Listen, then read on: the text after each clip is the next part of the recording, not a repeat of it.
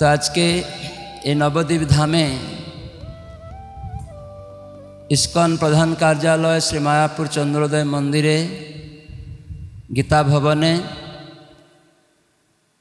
প্রভুপাদের অন্যতম কৃপাধন্য, ইস্কনের অন্যতম দীক্ষাগুরু, ইস্কন নামহটের বিশ্ব প্রচারক মন্ত্রী এবং ইস্কনের অন্যতম গভর্নিং বডি কমিশনার জিবিসি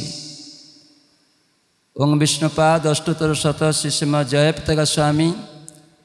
শিল গুরুদেবের শ্রীচরণে প্রথম দীক্ষা এবং দ্বিতীয় দীক্ষা গ্রহণেচ্ছু ভক্তবৃন্দ যারা আজ উপস্থিত রয়েছেন, আমি সকল ভক্তমণ্ডলীকে ইস্কন প্রধান কার্যালয়, শ্রী মায়াপুর চন্দ্রোদয় মন্দিরের পক্ষ থেকে সকলকে অসংখ্য ধন্যবাদ জ্ঞাপন করছি। তো ভগবত কথা শ্রবণের প্রারম্ভে আমি আমার পরমারাধ্য গুরুপাদ পদ্ম, ইস্কন প্রতিষ্ঠাতা আচার্য কৃষ্ণকৃপা শ্রীমূর্তি শিল অভয়চরণ অরবিন্দ ভক্তিবেদান্ত স্বামী, প্রভুপাদের অন্যতম কৃপাধন্য, ইস্কনের অন্যতম গুরু এবং বিষ্ণুপাদ, অষ্টতর শত শ্রীশ্রীম জয়পতাকা স্বামী গুরু মহারাজের শ্রীচরণে দণ্ডবোধ প্রণতি নিবেদন করে। তার অহিতকে কৃপা ও আশীর্বাদ প্রার্থনা করছি এবং আমার পরমারাধ্য পরম গুরুপাদ পদ্ম, ইস্কন প্রতিষ্ঠাতা আচার্য কৃষ্ণকৃপা শ্রীমূর্তি শিল অভয়চরণ অরবিন্দ, ভক্তিবেদান্ত স্বামী, প্রভুপাদের শ্রীপাদ পদ্মে। ধন্যবাদ প্রণতি নিবেদন করে তার অহিতকে কৃপা ও আশীর্বাদ প্রার্থনা করছি। এবং আজকে উপস্থিত সমস্ত সজ্জন ভক্তমণ্ডলী, বিশেষ করে যারা প্রথম দীক্ষা এবং দ্বিতীয় দীক্ষা গ্রহণের জন্য উপস্থিত রয়েছেন। আপনাদের সকলের চরণে প্রণাম নিবেদন করে আপনাদের অহিতকে আশীর্বাদ প্রার্থনা করছি। তা আমি চেষ্টা করব বাংলা ভাষাতে বলার জন্য। যেহেতু আমার মাতৃভাষা বাংলা নয়, তো বাংলা ভাষায় কোনো ভুল ত্রুটি পরিলক্ষিত হলে নিজ গুণে মার্জনা করবেন। হরে কৃষ্ণ। তো আমরা সবাই জানি, চৈতন্য মহাপ্রভু এই নবদ্বীপ ধামে আবির্ভূত হয়েছিলেন পাঁচশো বছর পূর্বে এবং এই নবদ্বীপ ধাম থেকে কৃষ্ণ নাম প্রেম বিতরণ করেছেন এবং তিনি ভবিষ্যৎবাণী করেছিলেন, পৃথিবীর সর্বত্র তার নাম প্রচার হবে। এবং তিনি আরও বলেছিলেন যে, আমার শুদ্ধ সেনাপতি ভক্ত, সারা বিশ্বে আমার নাম গ্রহণের মাধ্যমে জগৎবাসীকে আমার নাম প্রদান করবে। হরে কৃষ্ণ হরে কৃষ্ণ কৃষ্ণ কৃষ্ণ, হরে হরে। হরে রাম হরে রাম রাম রাম, হরে হরে। এই ভগবানের নাম কলিযুগের যুগধর্ম। ভগবান নাম রূপে কৃষ্ণ তিনি অবতরণ হয়েছেন। কলিকালে কৃষ্ণ নাম রূপে অবতার। তথিলাগি চৈতন্য অবতার। সেজন্য মহাপ্রভু রূপে তিনি এসেছেন। কৃষ্ণ নিজে, রাধাকৃষ্ণ মিলিত তনু গৌরাঙ্গ রূপে এসেছেন। এবং মহাপ্রভু এই নবদ্বীপ ধামে চব্বিশ বছর লীলাবিলাস করেছেন। তারপরে তিনি নীলাচল ক্ষেত্রে গিয়ে সেখানে আরও আঠারো বছর আর ভ্রমণ করেছেন ছয় বছর এইভাবে আটচল্লিশ বছর এই ধরাধামে তিনি লীলা বিলাস করেছেন। এবং তার লীলা সম্বরণ করে শিবধামে প্রত্যাবর্তন করেছেন। তো মহাপ্রভু নবদ্বীপ ধামে হরিনাম সংকীর্তন প্রদান করেছেন। জাতি, বর্ণ, ধর্ম নির্বিশেষে। সেজন্য উনি পৃথিবীর সর্বত্র বলেছেন। তার মানে পৃথিবীর সর্বত্র যে কোনো দেশে, যে কোনো গ্রামে, শহরে এবং প্রতি ঘরে ঘরে বলেছেন। তার মানে সেখানে কোনো বিচার করা হয়নি। স্ত্রী, পুত্র বা যুবক, যুবতী, হিন্দু, মুসলিম, খ্রিস্টান, জাতি, বর্ণ, ধর্ম নির্বিশেষে সকলেই আবাল বৃদ্ধ বনিতা। এই ভগবানের নাম গ্রহণ করার যোগ্য সেটা তিনি ঘোষণা করেছেন যে সকলেই গ্রহণ করতে পারবে। এই জন্য উনি নিত্যানন্দ প্রভুকে নাম হট্ট প্রচার কথা বলেছিলেন। যে মানে হাটে সবাই যেমন ক্রেতা বিক্রেতা হয়, তাই নাম গ্রহণে আদান প্রদানের জন্য আমরা সকলেই ভগবানের সেবক সেবিকা রূপে তার সেবা করতে আমরা যোগ্য বিবেচিত হব। তো সেজন্য আজকে এখানে ছিল জয়প্রতাপ স্বামী গুরু মহারাজের কাছ থেকে প্রথম দীক্ষা মাধ্যমে হরিনাম গ্রহণ করবেন। এবং দ্বিতীয় দ্বিতীয় দ্বিতীয় দীক্ষার মাধ্যমে তারা গায়ত্রী মন্ত্র ইত্যাদি লাভ করবেন যে গায়ত্রী গায়ত্রী মানে হচ্ছে গান করলে যা ত্রাণ করবে তো সেটি আরও বলা হয় উপনয়ন সংস্কার দ্বিজত্ব প্রাপ্তি গুরু থেকে মন্ত্র লাভ করে আরও বেশি করে যোগ্যতা অর্জন করা। ভগবানের সেবাতে আরও নিকটবর্তী হওয়া, গুরুর নিকটবর্তী হওয়া। সেজন্য উপ আনয়ন উপনয়ন মানে নিকটে গুরুর কাছে সমীপবর্তী হওয়া। সেজন্য এই উপনয়ন সংস্কারে অনেক দায়িত্ব নিতে হবে শিষ্যকে। এটা গুরুমার বলেছেন, এখানে যদি কেউ ভঙ্গ করে, তাহলে তারা খারাপ দিকে গতি হবে, গুরুদেবকে শাস্তি পেতে হবে। সেজন্য আমাদের খুব সাবধান থাকতে হবে। যখন আমরা গায়ত্রী মন্ত্র ইত্যাদি গুরুদেব দিবেন আরও এই হরিনামকে আরও দৃঢ় করার জন্য। এই গায়ত্রী লাভ করার উদ্দেশ্য হচ্ছে এই হরিনাম মহামন্ত্র আসল মন্ত্র না সর্বমন্ত্র সার। গুরুদেব মন্ত্র হরিনাম দিচ্ছেন কিন্তু দ্বিতীয় দীক্ষার মাধ্যমে আরও এই হরিনামকে, হরিনামের প্রতি আরও নিষ্ঠা, দৃঢ়তা আনার জন্য কেন এই নাম হইতে হবে সংসার মোচন আর নাম হইতে পাবে কৃষ্ণেরও চরণ, কৃষ্ণের চরণ পাওয়া যাবে। তো সেজন্য আমাদের প্রথম দীক্ষা, দ্বিতীয় দীক্ষা, প্রভুপাদ সেই সিস্টেম করে গেছেন। আমরা সবাই জানি কীভাবে শ্রদ্ধাবান থেকে শুরু করে প্রভুপাদ আশ্রয় পর্যন্ত একজন ভক্ত ইস্কনে তৈরি হয়। তারপরে সে ছয় মাস প্রভুপাদ আশ্রয় থাকার ফলে আবার গুরু আশ্রয় গ্রহণ করে ছয় মাস। গুরু মহারাজের আশ্রয়ে ছয় মাস থাকে। এর এক বছর পরে তাকে হরিনাম দীক্ষা দেওয়া হয়। আর এই হরিনাম দীক্ষা যথাযথভাবে পালন করার ফলে গ্রন্থ অধ্যয়ন এবং ভক্তিশাস্ত্রী এগুলি যখন সমাপন করে, পঞ্চাশটি প্রশ্ন নিয়ে তার উত্তর গ্রন্থ থেকে অধ্যয়ন করে বের করে প্রস্তুত হওয়ার ফলে তখন সে আবার হরিনাম দীক্ষার এক বছর, দুই বছর পরে যখন রেডি হয়ে যাবে, তখন এই দ্বিতীয় দীক্ষার যোগ্য বিবেচিত হবে। তো আমরা যখন প্রথম দীক্ষা প্রশ্ন, কুড়িটা প্রশ্নতে শেষ প্রশ্ন কে জানে? প্রথম হরিনাম দীক্ষার যে প্রশ্ন আছে, একটা শেষ প্রশ্ন আছে, কে জানে? মাতাজি, জীবনের অন্তিম লক্ষ্য কি? এটা শেষ প্রশ্ন আছে। সবাই জানেন? জিজ্ঞাসা করা হয়েছিল যে আপনার জীবনের শেষ লক্ষ্য কি, অন্তিম লক্ষ্য কি? কি বলেছিলেন? জুড়ে বলুন। কৃষ্ণ প্রেম লাভ করা। সবাই বলুন, কৃষ্ণ প্রেম লাভ করা। কৃষ্ণ প্রেম লাভ করা। কৃষ্ণ প্রেম লাভ করা। তো এটা আপনারা সবাই সত্যিকারে আসক্ত? খুব সুন্দর। এই জন্যে গুরু মহারাজ, তিনি সমগ্র জগতে মানুষ, যাতে তারা প্রভুপাদের শিক্ষাধারায় আসবে এবং ক্রম অনুসারে শ্রদ্ধাবান সাধুসঙ্গী গৌরকৃষ্ণ সেবক গৌরকৃষ্ণ সাধক, তারপরে প্রভুপাদ আশ্রয়। প্রভুপাদ আশ্রয় মানে সেখানে ষোলমালা জপ করা, চারটা নিয়ম পালন করা, ব্রত ইত্যাদি পালন করা, যেগুলি বৈষ্ণবীয় ব্রত। এবং চারটি নিষেধ, মাছ, মাংস বর্জন, নেশা বর্জন, দ্রুতক্রীড়া বর্জন, অবৈধ সঙ্গ বর্জন, এই অধর্মের স্তম্ভগুলিকে ত্যাগ করার মাধ্যমে সত্য, দয়া, তপ, শৌচ, ধর্মের স্তম্ভকে রক্ষা করা। যার ফলে আমরা আমাদের হৃদয়ে ধর্মভাব, যে ধর্ম মূলই ভগবান, ধর্মের মূল উদ্দেশ্য হচ্ছে ভগবানের চরণে আত্মসমর্পণ করা।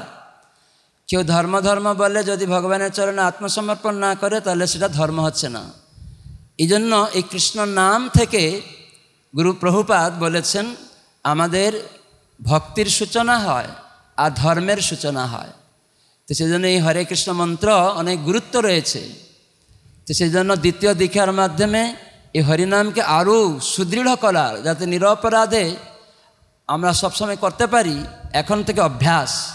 তারপরে দ্বিতীয় দীক্ষায় যেন একদম আরও যে স্ট্রং হব, দৃঢ় হব, সংকল্পটা যেন আরও গাঢ় হয় যে না আমি কখনো গুরুদেবের আদেশের উল্লঙ্ঘন উল্লঙ্ঘন করব না।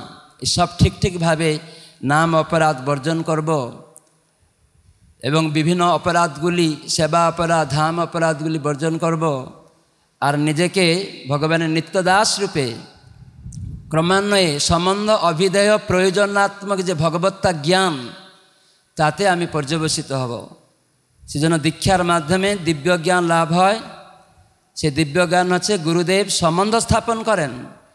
আমাদেরকে পরম্পরার সাথে যুক্ত করিয়ে তিনি সম্বন্ধ স্থাপন করেন ভগবানের সাথে, রাধাকৃষ্ণের সাথে। আমরা জীব আত্মা ভুলে গেছি, তাই ভগবানের নাম করার মাধ্যমে আমাদের হৃদয়কে পবিত্র করেই এবং ভগবানের সাথে আমাদের সম্বন্ধ স্থাপিত হয়। তিনি আমার নিত্য প্রভু, তার সেবা করা আমার নিত্য পরম কর্তব্য, তিনি আমার সেবনীয় পূজনীয় এবং আরাধ্য আরাধ্য ভগবান। সেজন্য ভক্তি সিদ্ধান্ত সরস্বতী ঠাকুর প্রভুপাত বলেছেন, কোন ধরনের গুরু থেকে তুমি দীক্ষা লাভ করবে? ছিল ভক্তি সিদ্ধান্ত সরস্বতী ঠাকুর প্রভুপাত বলেছেন, প্রভুপাদের লেকচারে আছে শ্রী জয়প্রতাপ স্বামী গুরু মহারাজ, তিনি লিখছেন, গুরু কৃপা লাভের পন্থা একটা বই আছে, দেখবেন, ওর মধ্যে লেখা আছে। গুরু মহারাজ, জয়প্রতাপ স্বামী গুরু মহারাজ ওখানে উল্লেখ করেছেন লেকচারে যে নন্দনন্দন, যশোদানন্দন, যে কৃষ্ণ ভগবান, তার যিনি প্রিয় প্রতিনিধিত্ব করেন, সেই রকম গুরু, তার চরণে আত্মসমর্পণ করতে হবে। তো সেই জন্য আমরা আরাধ্য ভগবান ব্রজেশ তনয়, নন্দ মহারাজের তনয় কৃষ্ণের চরণে আমাদেরকে যিনি আশ্রয় দান করবেন এই কলিযুগের নামের মাধ্যমে। তো এভাবে আমাদের নন্দনন্দন কৃষ্ণ, যশোদানন্দন কৃষ্ণের প্রিয়জন কিন্তু প্রভুর যে আমরা বলি, সেই প্রভু হচ্ছেন কৃষ্ণ, নন্দনন্দন কৃষ্ণ। তিনি আমাদের যে গুজ্যতম বস্তু, আরাধ্য বস্তু, তো তার চরণে আমাদেরকে সেবা দান করেন। সেই কৃষ্ণের যিনি প্রতিনিধিত্ব করেন, তার যিনি প্রিয়জন, তার কাছ থেকেই আমাদের দীক্ষা লাভ করতে হবে। একটি সুন্দর, সহজ উপায়। তসমাৎ গুরু প্রপদ্যেত জিজ্ঞাসু শ্রেয়োত্তম শাব্দে পরেচ নিষ্ণাতং ব্রহ্মণী উপসমাশ্রয়ম। তো এইরকম সদ্গুরুর কাছে আমাদের দীক্ষা গ্রহণ করতে হবে। যিনি সমস্ত শাস্ত্র জ্ঞানে সুনিপুণ, কোনো জড়জাগতিক বিষয়বস্তুতে যিনি ক্ষোভিত নন, আসক্ত নন যিনি কেবল কৃষ্ণ সেবাতেই কৃষ্ণের প্রতিনিধিত্ব করেন, পরম্পরার সাথে যুক্ত করিয়ে দেন, শিষ্যকে কোন ধরনের শিষ্য? না, যিনি আত্মসমর্পিত শিষ্য, যে কেবল গুরুদেবের চরণে আত্মসমর্পণ করেছে এবং তার নির্দেশ অনুসারে কায়মন্য বাক্যে সেবা করবে, সেই ধরনের শিষ্যই উদ্ধার পাবে। তো আপনারা সবাই শিষ্যের যোগ্যতা বলেছেন। গুরুদেবের চরণে আত্মসমর্পণ করা, তার আদেশ নির্দেশ পালন করব। এইসব বলেছেন? সবাই বলেছেন। তো এখন গুরু মহারাজ যদি আসেন, যে কোনো ভক্তকে বলবেন যে তুমি এখন উঠে যাও, পাঁচ বছর পরে দীক্ষা নেবে। কয়জন উঠে যাবেন হাত তুলুন দেখি? অনেকে হাত তুলেননি, তার মানে আপনি আত্মসমর্পিত নন। বুঝা গেল এখানে? একটু আগে আপনারা বলেন আমরা আত্মসমর্পণ করেছি গুরুদেবের চরণে। তার মানে গুরুর আদেশ নির্দেশ পালন করব। তাহলে যদি আদেশ করলেন, এখন তুমি উঠে যাও, পরে দীক্ষা নেবে। কয়েকজন হাত তুলেছে, আর কয়েকজন হাত তুলেনি। তার মানে আপনি এখনও আত্মসমর্পিত নন, তার মানে দীক্ষা নেওয়ার যোগ্য নন। এটি তার প্রমাণিত হয়। বুঝা গেল? এখন আবার জিজ্ঞাসা করব, গুরুদেব আপনারা কেউ কেউ বলছে, আমরা বুঝতে পারিনি। ঠিক আছে। আপনারা সবাই বলেছেন যে শিষ্যের যোগ্যতা আমি, আপনারা শিষ্য হবেন, শাসনে থাকবেন তো? এই জন্য শিষ্য হওয়ার জন্য এখানে বসেছেন। তাহলে গুরুদেব এসে বলবেন, তুমি বলছো, আত্মসমর্পণ করেছ আমার চরণে আর আমার আদেশ পালন করবে, তাহলে তুমি আজকে দীক্ষা না নিয়ে পাঁচ বছর পরে নেবে। সেখানে আপনারা উঠে যাবেন? উঠে যাবেন। তাহলে আপনারা আত্মসমর্পিত, বোঝা যাচ্ছে। তখন কি বলবেন? যে, গুরু মহারাজ, আপনার ইচ্ছা যেটি হবে, সেটি আমি করব। এরকম বলবেন তো? ধন্যবাদ। তাহলে আপনারা সমর্পিত আদেশ নির্দেশের গ্রহণের যোগ্য ব্যক্তি বলে এখন বিবেচিত হচ্ছে তাই আপনারা দীক্ষা নেওয়ার জন্য আজকে এখানে উপস্থিত হয়েছেন। ধন্যবাদ সবাইকে। তো মহাপ্রভু এসেছিলেন এবং নীলাচল ক্ষেত্রে তিনি সেখানে বিরহতে থাকছিলেন, কৃষ্ণের বিরহে। এখানে নাম প্রচার করলেন জগৎবাসীকে, নাম প্রেম দান করেছেন এবং নীলাচলে গিয়ে আঠেরো বছর সেখানে শেষ দিকে গম্ভীরাতে ছিলেন। আর গম্ভীরাতে রামানন্দ রায়, সর্বদামোদর গোস্বামী তাদের সাথে মহাপ্রভু কৃষ্ণের বিরহে, কেন মহাপ্রভু স্বয়ং রাধারানীর ভাব অঙ্গকান্তি নিয়ে এসেছেন, তিনি রাধারানীর ভাবেই মহাপ্রভু লীলা করছেন। বিরহ ভাব। যে কৃষ্ণ বিরহটা কত, তো মানে বিরহের মধ্যে ভগবানকে বেশি পাওয়া যায়। স্মরণ হয় তার কথা বেশি। যেমন আপনারা মায়াপুর থেকে অনেক দূরে থাকেন, তখন মায়াপুরের কথা বেশি মনে হয় না হয় না? বিরহ, এটাকে বলে বিরহ। আর যখন কাছে এখানে এক মাস, দু মাস থেকে যাবেন, মায়াপুরকে ভালো লাগে আর? তখন মায়াপুর বলে, না, কখন যাব তাড়াতাড়ি বাড়ি? এই চিন্তা। মায়াপুরে দুই দিন এই মেলাতে গীতা পাঠ্যচক্রে এসেছে। একদিন তার পরের দিন বলে, প্রভু, আমরা তাড়াতাড়ি চলে যাব। তাহলে কি? আসক্তি আছে? তাহলে মায়াপ্রভুর প্রতি আসক্তি নেই। সেই জন্য মহাপ্রভু শিখালেন যে বিরহর মাধ্যমে বেশি পাওয়া যায়। এই জন্য দূরে থাকলে অপরাধটা কম হয়। আমরা দেখি মায়াপুরে অনেকে ফ্ল্যাট নিয়ে নিয়েছে আর এখানে এসে বসতিও করছে। কিন্তু এখন তাদের মায়াপুর প্রতি, বৈষ্ণবদের প্রতি অপরাধ করার বেশি প্রবণতা বেড়ে যাচ্ছে। আর বিরহ নেই, আসক্তি নেই। তো এই জন্য মহাপ্রভু শিখালেন যে দূরে থেকে তিনি বিরহ অনুভব করছেন, কৃষ্ণ থেকে। আর যদিও ভগবান যেখানে থাকেন সেখানেই বৃন্দাবন। তো সেই নীলাচলে তিনি অত্যন্ত বিরহ কাতর হয়ে তিনি কি করছেন? না, সেখানে রামানন্দ রায় স্বরূপ দামোদরকে বলেছেন যে এই কলিযুগে তিনি বলছেন, হর্ষে প্রভু কহেন শূন্য স্বরূপ রাম রায় নাম সংকীর্তন কলৌ পরম উপায়। সংকীর্তন যজ্ঞে কলৌ কৃষ্ণ আরাধন, সেই তো সুমেধা পায় কৃষ্ণের চরণ। আপনারা বুদ্ধিমান এই জন্য আজকে কৃষ্ণ নাম এতদিন গুরুদেবের আদেশে করছিলেন, আর আজকে গুরুদেব আপনাদের দক্ষিণ কানে এই মহামন্ত্র প্রদান করবেন। তখন এই দক্ষিণ কানটা খুলে রাখবেন।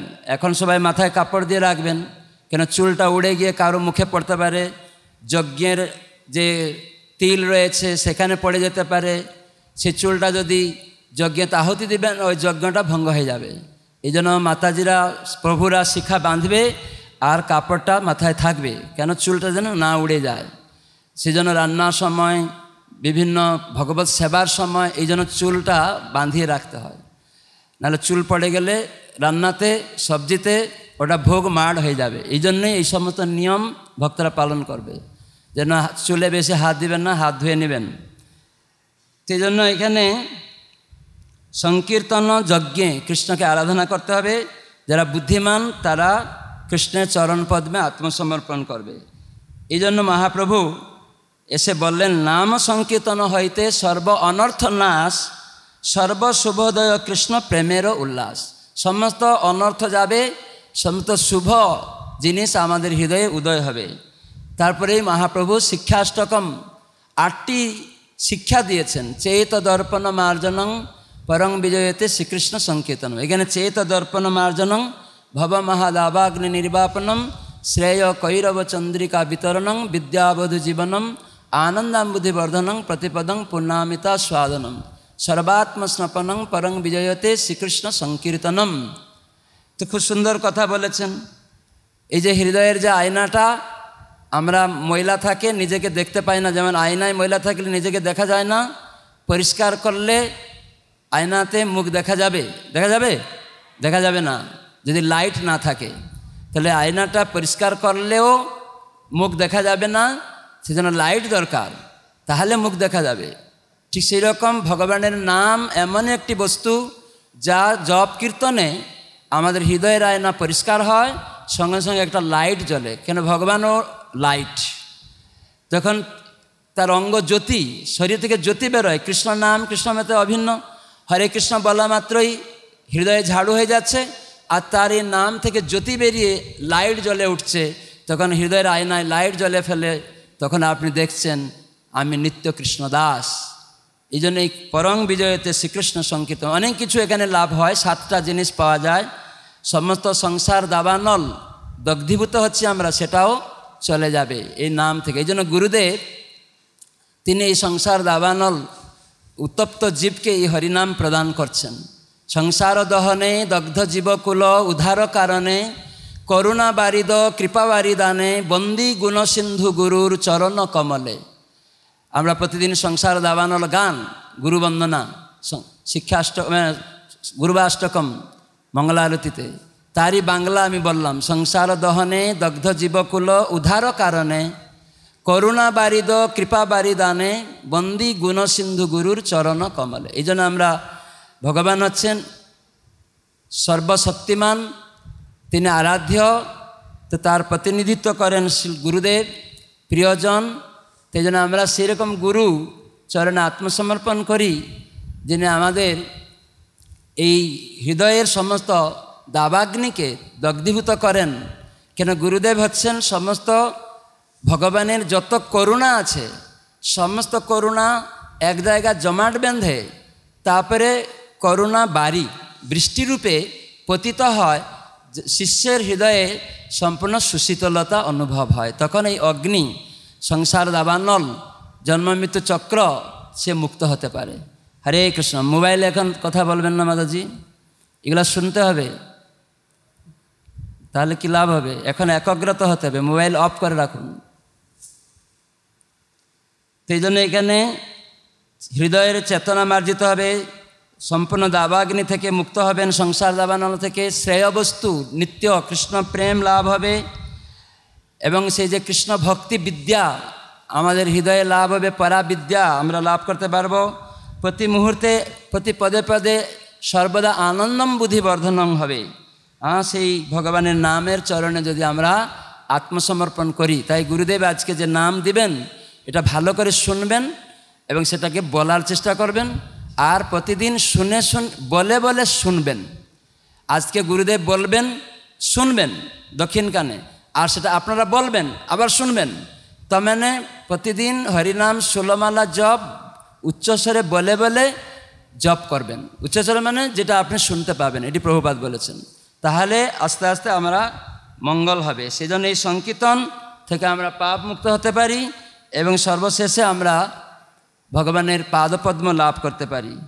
এভাবে মহাপ্রভু পরপর দ্বিতীয় শ্লোকে গিয়ে বলেছেন যে, আমার এই যে নাম, ভগবান, তোমার বহুবিধ নাম আছে। নাম নাম কারি বহুদা নিজ সর্বশক্তি। তুমি বহুবিধ নাম বিস্তার করেছ এবং সমস্ত শক্তি অর্পণ করেছ। তত্রার্পিত নিয়মিত স্মরণে ন কাল এতাদৃশী কৃপা ভগবান মাপি দুর্দৈব মিদৃশ মেহাজনেনানুরাগ আমার এরকম দুর্ভাগ্য যে আপনি সমস্ত নামের মধ্যে শক্তি প্রদান করেছেন, কিন্তু আমার এরকম দুর্ভাগ্য আমি সেটি কীর্তন করতে পারছি না, স্মরণ করতে পারছি না। এটা আমার দুর্ভাগ্য, তার মানে খেদ করছে। মহাপ্রভু কি জপ করছেন না? তিনি ভগবান, তার করা দরকার নেই আমাদের জন্য। উনি খেদ করছেন যে ভগবান এই নামের মধ্যে এত শক্তি দিলেন আর আমরা সেই নাম গ্রহণ করছি না। সেটাই খেদ করছেন মহাপ্রভু। তো সেজন্য আমাদেরকে চেষ্টা করতে হবে যে ভালো করে প্রার্থনা করতে হবে। এভাবে তারপরেই বলেছেন তৃণাদপি শুনেছেন তরুরিব সহিষ্ণুনা অমানি নামানদেন কীর্তনীয় সদাহরি প্রভুপাদ আদিলীলায় চৈতন্য চৈতামিতে অষ্টম পরিচ্ছেদে তিনি বলেছেন, ভক্তি সিদ্ধান্ত সরস্বতী ঠাকুরের কথা, এই শ্লোকটা, এই ত্রেণাদপি সুনিচন তরুরিব সহিষ্ণু আমানিনা মানদেন কীর্তনীয় সদাহরি, এটাকে সবাই কণ্ঠস্থ করে রাখবে, হার মতো। এইটা যদি কেউ পালন করতে পারে, তাহলে যে দশটি নাম অপরাধ আছে, সে সম্পূর্ণ মুক্ত হতে পারবে। হ্যাঁ আমরা দশ নাম অপরাধ শুনব একটু পরে। তার মানে এটা যেহেতু এসছে এই শ্লোকটা তৃণাদপি শ্লোকটা, তার মানে তৃণ ঘাস তার উপরে হেঁটে গেলে গুরু মহারাজ বলছেন, আবার সে জেগে উঠে। কিন্তু তার থেকেও নিচ হতে হবে। গাছপালা কাটা হয়, কত সহিষ্ণু, তরুরিব সহিষ্ণুতা। ঘাস থেকে নিচু হতে হবে, তার মানে অভিমান শূন্য হতে হবে, সেটা হচ্ছে দৈন্য। অভিমান শূন্য। আমাদের কেউ কিছু একটু বলল, তখন অভিমান করে আর তাদের সঙ্গ মিশি না। দূরে চলে যায়। যাদের দ্বারা আমি ভগবত ভক্তি অনুশীলন করছি, আগিয়ে আসলাম, সে হয়তো আমাকে একটু শাসন করল, কিন্তু আমরা কি করলাম না, অভিমানী হয়ে, অহংকারী হয়ে তাদের থেকে সরে গিয়ে আবার একটা গ্রুপ করলাম। সেখান থেকে আবার কেউ বলল, আবার একটা করলাম। এরকম ঘুরতে ঘুরতে নিজে চলে যাবে, ভক্তি জীবন থেকে সরে যাবে। এই জন্য স্থির হতে হবে, বাতুল হলে হবে না। কারও আনুগত্যে কৃষ্ণ সেবা করার চেষ্টা করতে হবে। না হলে ভগবত ভক্তিতে জিরু হয়ে যাবে। তো সেই জন্য আমাদের সহ্যও করতে হবে, অন্যকে সম্মান দিতে হবে এরকমভাবে অন্যকে সম্মান আর অন্য কাছ থেকে সম্মান প্রত্যাশা। আমাকে সম্মান করল না, এই প্রত্যাশা করা উচিত না। সেই জন্য বলছেন, সেই ব্যক্তি নিরন্তর কৃষ্ণ নাম করার যোগ্য আর তিনি সমস্ত নাম অপরাধ থেকে মুক্ত হতে পারেন। তারপরে মহাপ্রভু বলছেন নধনং ন জনং ন সুন্দরী কবিতাং বা জগদীশ কামে, মম জন্মনি জন্মনীশ্বরে ভবতাৎ ভক্তি রহিত কি তুই? তো আমাদের এই প্রচার ক্ষেত্রে আমরা ভগবত ভক্তি করার জন্য আসছি। এই সব জিনিসের প্রতি যে আমরা আসক্ত হই ধনং জনং সুন্দরী, এই জন্য ভক্তিবিনোদ ঠাকুর এই শ্লোকের গান বলেছেন। ধন জন ইয়ার কবিতা সুন্দরী, বলিব না চাহি দেহ সুখ করি। জন্মে জন্মে দাও ওহে গৌর হরি অহিতুকি ভক্তি চরণে তোমার। যে জন্মে জন্মে অহিতুকি ভক্তি কামনা করতে হবে। ধন জন টাকা পয়সা অনেক অনুগামী সুন্দরী স্ত্রী এরকম সমস্ত কামনা আমাদের নিষেধ করছেন। ধনজন আর কবিতা সুন্দরী, অনেক কিছু লিখে প্রতিষ্ঠা পাওয়ার আকাঙ্ক্ষাও রয়েছে। তো সেরকম আমাদের দরকার নেই। মহাপ্রভু বলছেন, কেবল তোমার পাদপদ্মে আমি সর্বদা আত্মসমর্পণ করতে চাই। তো এরকমভাবে মহাপ্রভু আস্তে আস্তে তিনি বলেছেন নয়নং গলদশ্রুধারয়া বদনং গদগদরুদ্ধয়া গিরা পুলকৈর নিচতং বপু কদা তব নাম গ্রহণে ভবিষ্যতে। হে প্রভু, তোমার নাম গ্রহণে কবে আমার নয়ন যুগলে গলদশ্রুধারায় শুভিত হবে? বাক্য নিরন্তর সময়ে নিঃসরণ সময়ে বদনে গদগদ স্বরে বের হবে এবং আমার সমস্ত শরীর পুলকিত হবে। এটি প্রার্থনা করছেন মহাপ্রভু আমাদের জন্য। হ্যাঁ এরকমই যাতে আমরা নামের প্রতি আসক্ত হই, আমাদের হরিনাম যাতে ঠিক ঠিকভাবে হয়, সেজন্য প্রার্থনা করছেন। হ্যাঁ এরকম পুলক অশ্রু হবে, কিন্তু অপরাধ থাকলে এটি হবে না। পুলক অশ্রু কিছু আসবে না। সেই জন্য মহাপ্রভু শিখাচ্ছেন আগে। এই জন্য লক্ষ্মী গোবিন্দ প্রভু বলছে যে, মহারাজ, আগে একটু না শিক্ষাষ্টকম একটু পড়ে শোনাবেন, তারপরে নাম অপরাধ বলবেন। তো খুব ভালো জিনিস। যদি অপরাধ হয়ে যায়, তাহলে ভগবানের নামে এরকম পুলক অশ্রু হবে না সাধুসঙ্গ করতে ভালো লাগবে না। এই যে আপনারা গীতা কোষ, পাঠ্যচক্র নামহট্ট সংঘ যে বসছেন সাধুসঙ্গ করতে আর ভালো লাগবে না। তো এইরকমই মায়াপুরে আসতে ভালো লাগবে না, অন্য বৈষ্ণবের খালি দোষ দেখতে ভালো লাগবে। তার মানে অপরাধ হয়ে গেলে, এ অশ্রু পুলক হবে না শরীরে। তো সেই জন্য মহাপ্রভু খেত করছেন আমাদের জন্য তারপরে উনি বলেছেন, যুগায়তং নিমেষেন চক্ষুষা প্রাবিষায়তম শূন্যায়তং জগৎ সর্বম গোবিন্দ বিরহে নমে। হে গোবিন্দ, তোমার অদর্শনে আমার এক নিমেষকাল, এক যুগ বলে মনে হচ্ছে। যেটি একটু আগে বললাম, বিরহ, মহাপ্রভু বিরহে, গোবিন্দের বিরহে এরকম এক নিমিষকে এক যুগ কাল মনে করছেন। তা আমরা ওই ভগবান যে পাচ্ছি না, গুরুদেবের দর্শন পাচ্ছি না, ভক্তদের সঙ্গ পাচ্ছি না, তার জন্য কতটা আগ্রহ প্রকাশ করতে হবে? যত ও আমি পাচ্ছি না, আজকে কেন সপ্তাহে কেন পাঠ্যচক্র? সপ্তাহে কেন নাম নামহট সঙ্গ বসবে? প্রতিদিন কেন বসছে না? এইরকম আগ্রহ। আমি সবসময় কেন নাম কীর্তন করতে পারছি না? তো সেজন্য এই সাত দিনকে মনে হবে কত হাজার হাজার হাজার যোগ মানে। এখানে মহাপ্রভু এক নিমিষ সেটাকে কত যোগ যোগ মনে হচ্ছে। তো এইরকমভাবে মহাপ্রভু খুব দুঃখেদ করছেন। যোগায়িত নিমেষেন চক্ষুষা প্রাবিষায়িতম শূন্যায়তম জগৎ সর্বম। জগৎ থেকে শূন্যবোধ মনে হচ্ছে। গোবিন্দ বিরহেনে যেহেতু আমরা এখনও গোবিন্দ প্রতি আসক্ত হয়নি যেমন আমরা বাবা মা ছোটোবেলায় তাকে না পেলে যেমন কান্না করি, বিরহ, সেটা হয়নি এখনও আমাদের। তো সেজন্যই ভগবানের নাম নিরপরাধে ভক্ত সঙ্গে বিশ্বাসের সহিত আমরা যখন করব, সম্বন্ধ অভিদেয় প্রয়োজনের মাধ্যমে আমরা সিদ্ধি লাভ করতে পারব। তো এই জন্য মহাপ্রভু লাস্টে তিনি বলেছেন যে, প্রকৃত যে ভালোবাসা, প্রেম, সেটি আশ্লিষ্য বা পাদরতাম পিনষ্টুমাম অদর্শনমর মহাতাং করুত বা যথাতথা বা বিদধাতু লম্পটু মৎপাননাথস্তু সৈব না পরহ। প্রভুপাদ বলেছেন, অনেকে বলে, আমি তোমাকে ভালোবাসি, কিন্তু মহাপ্রভু এখানে রাধারানীর ভাবে যে কৃষ্ণের প্রতি যে তার প্রার্থনা, শেষ প্রার্থনায় উনি দেখাচ্ছেন যে তুমি আমাকে আলিঙ্গন করো বা আলিঙ্গন না দিয়ে আমাকে মর্মাহত করো, পদদলিত করো, তুমি লম্পট পুরুষ, তবুও তুমি আমার প্রাণনাথ। কোনো স্ত্রী তার স্বামী যদি অন্য মহিলার সঙ্গ মিশবে, তখন স্ত্রী তার প্রতি আর ভালোবাসা থাকে না। কিন্তু মহাপ্রভু রাধারানীর ভাবে বলছেন, কৃষ্ণ, তুমি অনেক গোপীগণের সাথে মিশেছ, তুমি লম্পট, তবুও তুমি আমার প্রাণনাথ। আমি, তুমি আমাকে দর্শন দাও অদর্শন করো, আমাকে মর্মাহত করো, পদদলিত করো, তবু তুমি আমার প্রাণনাথ। এটাকে বলে প্রেম। শুধু প্রেম প্রেম বললে হবে না। আমি ভালোবাসি ভালোবাসি বললে হবে না। দুর্গাপূজায় স্বামী কাপড় না দিতে পারলে বলে তোমার থাকে, থাকবে না, অন্যদিকে চলে যাব। তাহলে ওটা ভালোবাসা নয়। ঠিক আমরা জীব, আত্মা, ভগবানের অংশ, অতএব আমাদের কর্তব্য হচ্ছে সম্পূর্ণভাবে ভগবানের কাছে আত্মসমর্পণ করা। তো সেই শিক্ষা গুরুদেব আমাদেরকে প্রদান করেন। তো এই জন্য আমরা কি করে এই নাম জপ করব? তার অপরাধের বিচার করে দশটি নাম গ্রহণের সময়। সেজন্য প্রভুপাদ এই নাম গ্রহণের আগে গুরু মহারাজ বললেন যে, পঞ্চতত্ত্ব, শ্রীকৃষ্ণ চৈতন্য, প্রভু নিত্যানন্দ শ্রী অদ্বৈত গদাধর সেবাসাদী গৌরভক্ত বৃন্দ। এটি আমাদেরকে আগে করতে হবে। গুরু মহারাজ একবার বিদেশে গিয়েছিলেন। তো একটা লোক এসে প্রভু গুরু মহারাজকে বলছে, আমি বাইরের লোক। বাইশ বছর ধরে হরে কৃষ্ণ মন্ত্র কীর্তন করছি, আমার কিছু লাভ হয়নি। তখন শিল জয়প্রদাস স্বামী গুরু মহারাজ বললেন, আপনি হরিনাম করার আগে শ্রীকৃষ্ণ চৈতন্য, প্রভু নিত্যানন্দ, শ্রী অদ্বৈত গদাধর শিবাসাদী গৌরভক্তবৃন্দ এটা করেন? বলে, এটা কি? বলে, এটাই তো কলিযুগে নিতাই গৌরের নাম করলে তারা অপরাধের বিচার করে না। আমরা শুদ্ধ নাম করার যোগ্যতা অর্জন করি।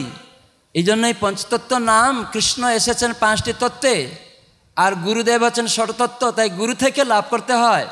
আর তখন আপনি এই নামের প্রতি আসক্ত হবেন, আর তখন ভালো লাগবে। ও তাই নাকি তখন গুরু মহারাজ শিখিয়ে দিলেন, আপনি বলুন, শ্রীকৃষ্ণ চৈতন্য, প্রভু নিত্যানন্দ, শ্রী অদ্বৈত গদাধর, শিবাসাদি, গৌরভক্তবৃন্দ, হরে কৃষ্ণ হরে কৃষ্ণ কৃষ্ণ কৃষ্ণ, হরে হরে হরে রাম হরে রাম রাম রাম, হরে। তো এই লোক গ্রহণ করে নিল, তারপরে জব শুরু করে দিল। আর গুরু মহারাজ তিন মাস পরে আবার ওইখানে গিয়েছেন। ওই লোকটি আবার শুনেছে শিলা জয়প্রতা স্বামী মহারাজ এসছেন। এসেই সঙ্গে সঙ্গে দণ্ডবোধ প্রণাম করছে। বলছে, আমি বাইশ বছরে যা না পাইনি তিন মাসের মধ্যে আমার কৃষ্ণ নামে এত ভালো লাগছে। আপনি সেই আদর্শ গুরু, আপনার চরণে আমি আত্মসমর্পণ করতে চাই। শিল জয়প্রতাপ স্বামী গুরু মহারাজ কি? তো এইরকমই শিল জয়প্রতাপ স্বামী গুরু মহারাজ যেহেতু পরম্পরা সূত্রে প্রভুপাদের শিক্ষাকে পুনরাবৃত্তিকরণ করেছেন, তাই আমাদের শক্তি লাভ হয়। তাই আমরাও শক্তি পাব।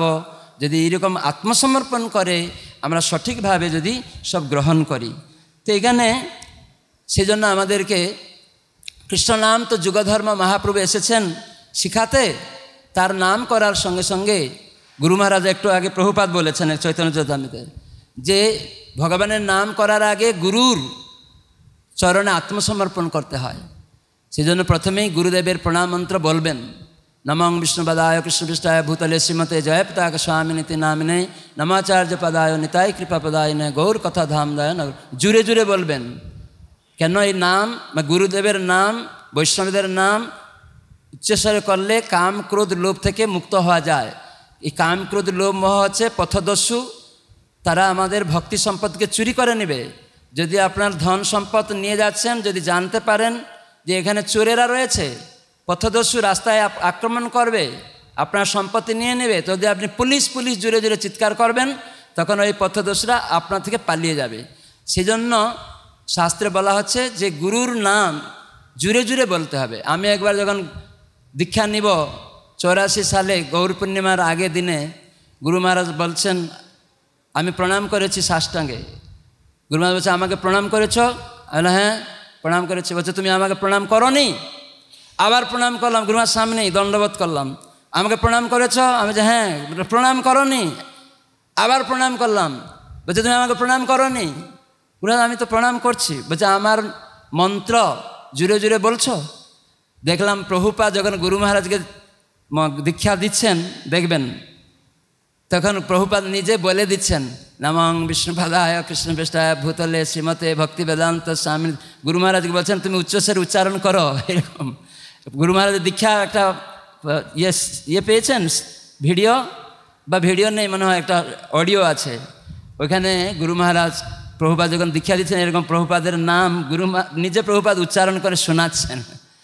তো সেই জন্য গুরুদেবের নাম জুড়ে জুড়ে বলবেন, প্রভুপাদের নাম জুড়ে জুড়ে বলবেন, পঞ্চতত্ত্ব জুড়ে জুড়ে বলবেন, হরিনামও জুড়ে জুড়ে বলবেন, যদি শুনতে পাবেন। আর হরি গুরুদেবের নাম তো উচ্চস্বরে বলবেন, আবার হরিনামও উচ্চস্বরে বলবেন। এই দুইটা জিনিস উচ্চস্বরে করলে এই পথদস্যু কাম ক্রোধ সব পালিয়ে যাবে। তো সেজন্য আমাদের অবশ্যই চেষ্টা করতে হবে আমার যেন গুরুদেবের আদেশ আমরা উল্লঙ্ঘন না করি। তো সেজন্য প্রভুপাত এই নাম গ্রহণের সময় তিনি বলেছেন, যাতে আমরা দশটি অপরাধের থেকে মুক্ত থাকি। তো সেজন্য গুরুদেবের নাম এবং উচ্চস্বরে করবেন প্রণাম, প্রভুপাদের প্রণামন্ত্র করতে পারেন, তারপরে পঞ্চতত্ত্ব আর হরিনাম। এইভাবে জপ করুন, দেখবেন আরও বেশি করে শক্তি পেয়ে যাবেন। তখন আমি গুরু মহাজের নাম বেশি জুড়ে জুড়ে বললাম তো বলে হ্যাঁ এবারে তুমি প্রণাম করেছ। তুমি বললেন যে, জুড়ে জুড়ে আমার নামটা বলো প্রণাম মন্ত্রটা সেখান থেকে আমি বুঝলাম যে গুরুদেবের প্রণাম মন্ত্র জুড়ে জুড়ে বলতে হয়। এই জন্য ইস্কনে যখন আরতি করা হয়, প্রথমেই গুরুদেবের প্রণাম মন্ত্র উচ্চস্বরে গাওয়া হয় মৃদঙ্গ করতাল বাজিয়ে তাই না? অনেকে মঠের লোকেরা বুঝতে পারে না, ইস্কনে কি ব্যাপার? এই জুড়ে জুড়ে হরে কৃষ্ণ মন্ত্র গান করে, গান আকারে গুরুদেবের প্রণাম মন্ত্র বলে কি ব্যাপার? তারা মঙ্গলাচরণ করে, কিন্তু আমাদের ভক্তরা কীর্তনও করে, মঙ্গলাচরণ তো করেই। আবার গানও করে, এটাই আমাদের শিখতে হবে। তো প্রভুপা চৈতন্য চরিতামৃত গ্রন্থে এই দশ নাম অপরাধ সম্বন্ধে অষ্টম অধ্যায় আদিলীলাতে বলেছেন। সেটা আমি চিন্তা করলাম, এটা থেকে পড়ব আজকে। কৃষ্ণ নাম করে অপরাধের বিচার, কৃষ্ণ বলিলে অপরাধীর না হয় বিকার। এটা অষ্টম অধ্যায়, চব্বিশ নম্বর শ্লোকে। তার আগে আমি বলছিলাম নিতায় গৌরের নাম করলে প্রেমোদয় হয়ে যাবে। কিন্তু নাম কৃষ্ণ নামে আবার বিচার হয়। তো সেজন্য আমরা কীভাবে করব? পঞ্চতত্ত্ব নাম, তারপরে হরিনাম। আর গুরুদেব, গুরু, প্রভুপাদ আরেক জায়গায় লিখছেন, যেটা বললাম, গুরুদেবের নাম সঙ্গে এই কৃষ্ণ নাম করতে হবে। সেই জন্য উচ্চৈশ্বরে আমাদের গুরু বৈষ্ণবদের নামও ডাকতে হবে। তো এইভাবে প্রভুপাদ অনেক এই শ্লোকের তাৎপর্যে দশ নাম অপরাধকে উনি ব্যাখ্যা করেছেন। আবার ভাগবতের সপ্তম স্কন্ধে দেখবেন ওখানেও শ্রবণম কীর্তনম এই শ্লোকের তাৎপর্য বলেছেন।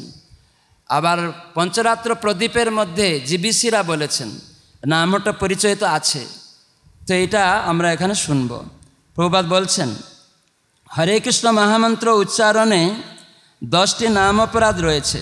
প্রথম অপরাধটি হচ্ছে, যে সমস্ত মহাত্মা ভগবানের নাম বিতরণ করছেন, তাদের নিন্দা করা। তার মানে যারা হরিনাম বিতরণ করছে তা এখন বিচার করবেন কি? বাচ্চা ছেলেও বলছে হরিনাম, আপনার স্ত্রীও বলছে হরিনাম, আপনিও হরিনাম করছেন। একটা গরিব লোকও বলছে, একটা মুচি লোকও বলছে, একটা খ্রিস্টান পরিবারের লোকও বলছে, ধনী, শিক্ষিত, অশিক্ষিত, হরে কৃষ্ণ মহামন্ত্র প্রচার করছে। তারা দীক্ষা নিয়েছে বা আশ্রয়ে রয়ে বা এরকম অনুমোদন নিয়ে প্রচার করছে। এখন আমরা যদি ভাবি, এ আমার স্ত্রী তাকে প্রহার করে দিলাম, গালি দিয়ে দিলাম অসম্মান করলাম, নিজের বাচ্চাকে একটু ভুল করেছে, তাকে প্রহার করলাম। প্রভু গুরু মহারাজ বলছেন, ওটাও নাম অপরাধ, বৈষ্ণব অপরাধ হয়ে গেল। কেন আমার ছেলে হরিনাম করছে? আমার স্ত্রী হরিনাম করছে? স্বামীকে বকে দিলাম, স্বামী তো হরিনাম করছে। অন্য লোককে হরিনাম বিতরণ করছে, স্বামীকে বকে দিলাম। অনেকে দেখছি স্ত্রী স্বামীকে মারেও, শোনা যাচ্ছে আজকাল। আবার স্ত্রী স্বামীকেও মারে। গুরুমালে বলছেন, ওরা দীক্ষা নেওয়ার যোগ্য নয়। একবার একজন ভক্ত দীক্ষা নিতে এসছে, ব্রাহ্মণ দীক্ষা। তখন গুরুমা জিজ্ঞাসা, তোমার স্ত্রীকে মারো নাকি?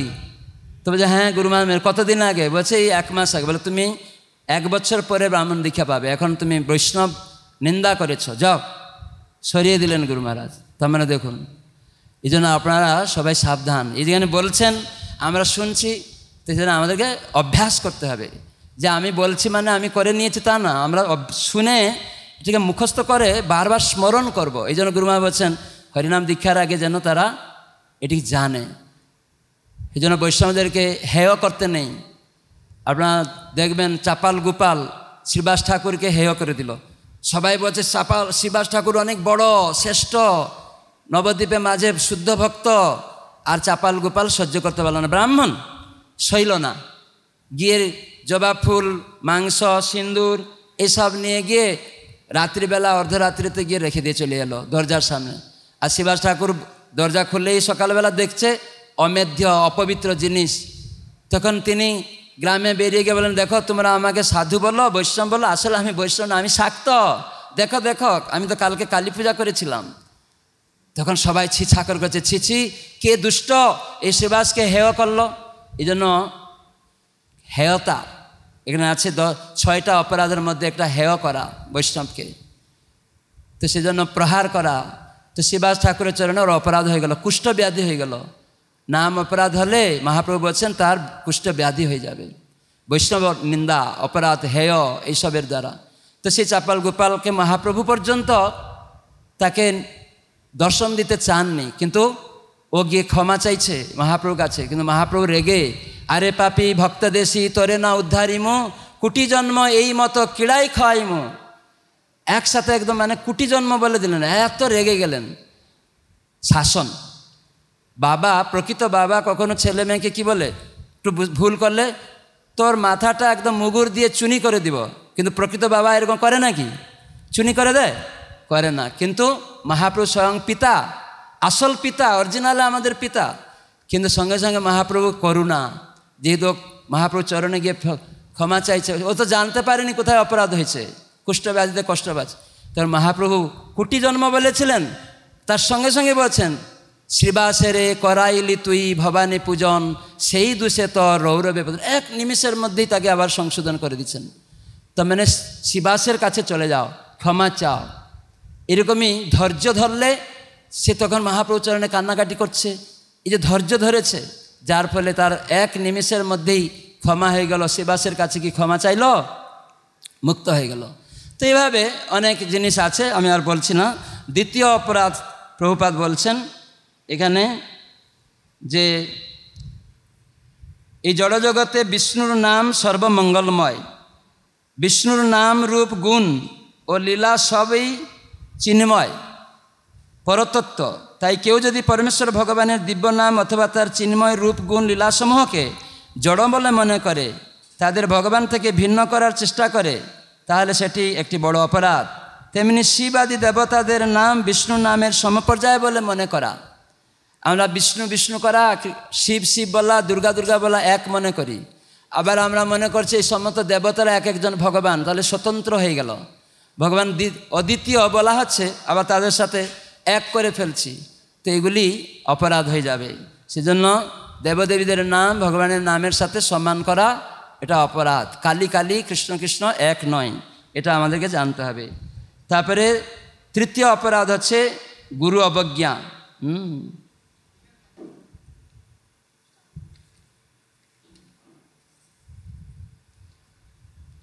নাম প্রচারণে তৃতীয় অপরাধকে বলা হয় গুরু অবজ্ঞা।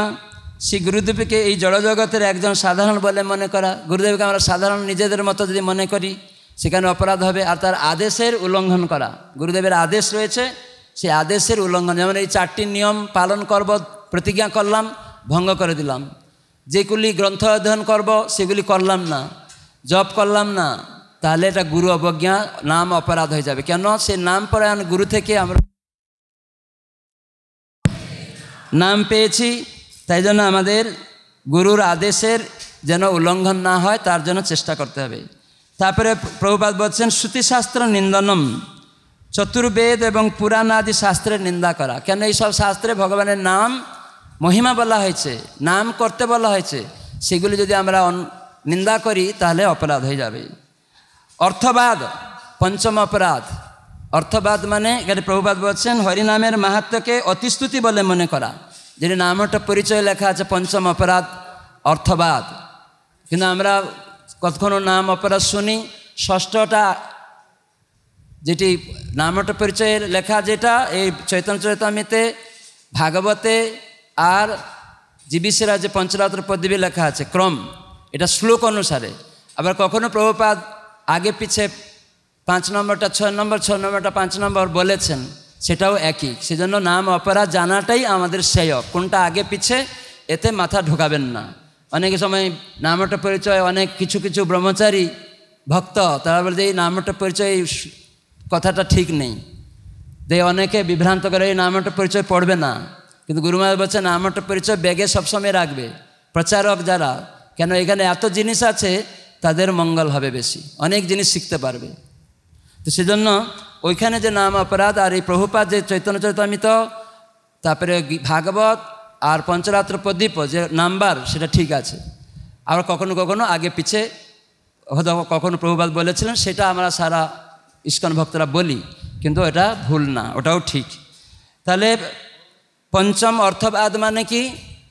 নামের মাহাত্মকে অতিস্তুতি বলে মনে করা। আবার অর্থবাদ মানে যে নাম যেটা প্রকৃত অর্থ হয় সেটাকে বাদ দিয়ে আলাদা আলাদা ব্যাখ্যা করছে অনেক লোক। আমি প্রায় বলি যে হরে কৃষ্ণ, উড়িষ্যাতে ভদ্রক এলাকায় বলে। হরে কৃষ্ণ মানে হরে, তার মানে হয়ে যাও, কৃষ্ণ হয়ে যাও। তার মানে তোমরা সবাই কৃষ্ণ হয়ে যাও। এরকম ব্যাখ্যা করে, তার মানে এটা প্রকৃত অর্থকে বাদ দিয়ে ঢেকে দেয়। তার মানে হরে কৃষ্ণ মানে কৃষ্ণ হয়ে যাওয়া নয়, হরে মানে রাধারানীকে বোঝা হয়। আর কৃষ্ণ মানে ভগবান স্বয়ং। তার আল্লাদিনী শক্তি রাধে হরে হরা সম্বোধনে আর কৃষ্ণ যিনি আরাধ্য, হরে কৃষ্ণ, রাধা কৃষ্ণ। এটাকে ব্যাখ্যা না করে উল্টো পাল্টা বলে। হ্যাঁ তো সেজন্য এটা যেন না হয়। তারপরে ষষ্ঠ, নাম সমূহকে প্রভুবাদ এখানে বলছেন। নাম সমূহকে কাল্পনিক বলে মনে করা। হুম। হরন্তি হরিনামনি কল্পনাম। সংস্কৃত শ্লোক অনুসারে প্রভুপাত ব্যাখ্যা করেছেন। নাম সমূহকে কাল্পনিক। যে কৃষ্ণ, গোবিন্দ, রাম, এগুলো সব কাল্পনিক। এগুলা কেউ একটা বলে দিয়েছে, এরকম না, কাল্পনিক না। এগুলা অরিজিনাল কৃষ্ণ এই নাম হচ্ছে নিত্য।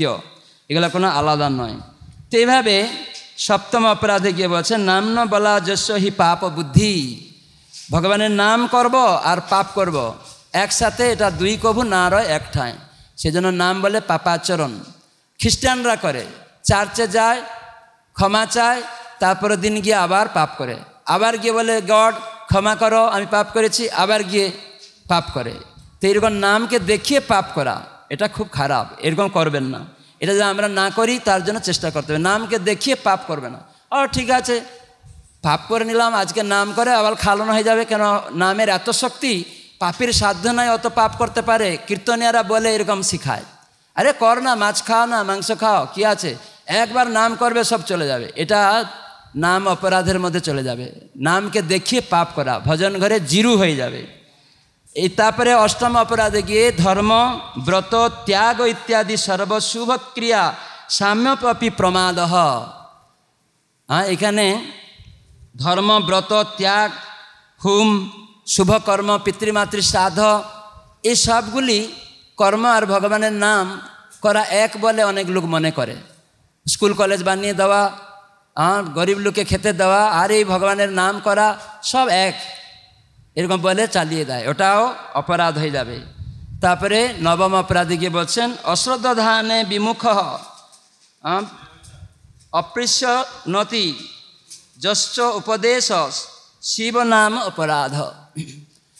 যারা ভগবানের নাম মাহাত্য শুনে তারা বলে অতিস্তুতি বলে সেজন্য তাদের সামনে ভগবানের নামের মহিমা, যারা শ্রদ্ধা নেই, অশ্রদ্ধা ধান নেই, সেজন্য বলা হলো। যারা শ্রদ্ধা নেই, তাদের কাছে ভগবানের নাম মাহাত্য বলা দরকার নেই। কিন্তু আমরা অন্য জায়গায় হরিনাম কীর্তন করব, যদি তার কর্ণে গিয়ে ঢুকে যায়, কখনো হয়তো সে ভক্ত হতে পারে। তো সেজন্য ভক্ত যদি প্রার্থনা করে, সে হতে পারে। কিন্তু ভগবানের যে শ্রদ্ধা নেই, তার সামনে ভগবানের মাহাত্ম বলা প্রয়োজন নেই। আর হচ্ছে দশম নাম অপরাধ হচ্ছে কি? সর্বশেষ, যেই ভগবানের নাম মাহাত্ম আমরা জানলাম, এবং ভগবান ভগবান নাম থেকে অভিন্ন আমরা জানলাম, নাম করে করে আমরা নাম অপরাধ থেকে মুক্ত হচ্ছি। সেসব নাম ভগবানের মধ্যে কোনো পার্থক্য নেই, এসব জানলাম। কিন্তু ভগবানে একমাত্র ভুক্তা সব কিছু আমরা জানলাম। আমি সেবক তার সেবাতে সব কিছু নিযুক্ত করব। কিন্তু ভক্তি সিদ্ধান্ত ঠাকুর প্রভুপাত বলছেন, এই দশ নাম অপরাধ আলোচনা করতে গিয়ে যে এই জড় বিষয়গুলি সব আমার, আমি ভোগ করব। তাহলে কি হবে আবার আসক্তি করার ফলে ওটাও নাম অপরাধ হয়ে যাবে তাহলে নাম অভিন্ন ভগবান, যে তিনি মালিক, তাই সব কিছু তার চরণে আত্মসমর্পণ করা, তাকে নিবেদন করা, তিনি ভুক্তা, এটা না জেনে আমি ভুক্তা ভাবাটা ওটা অপরাধ হয়ে যাবে। সেই জন্য নামের মাহিমা আমরা জানছি, নাম কৃষ্ণ অভিন্ন জানছি। তো জেনে তিনি একমাত্র আরাধ্য, তিনি ভুক্তা, তাই ভক্ত আমি কি করব? না, আমি তার সব কিছু তার সেবাতে নিযুক্ত করব। সর্বকর্ম তার আশ্রয়ে কাজ করব। এই জন্য ভাগবত গীতায় ভগবান বলেন সর্বকর্মানি অপিসদা কুরবান মত ব্যাপাশ্রয়ে মবাপনতি শাশ্বতং পদম অব্যয়ম।